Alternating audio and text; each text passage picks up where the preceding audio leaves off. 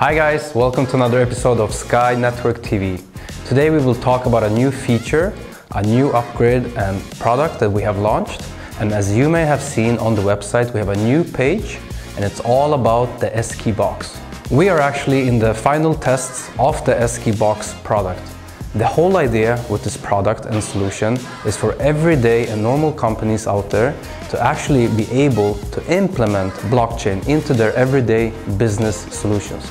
You might ask yourself, is this easy to install and use? Yes, the whole idea is for this product to be as easy as an office or as an antivirus program to install and to use on everyday basis.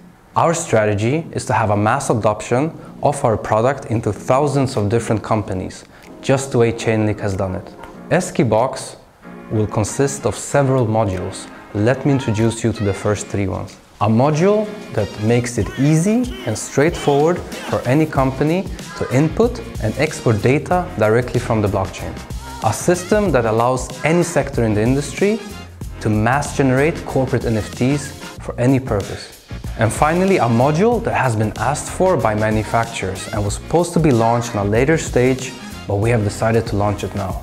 A system for the control and the management of your supply chain.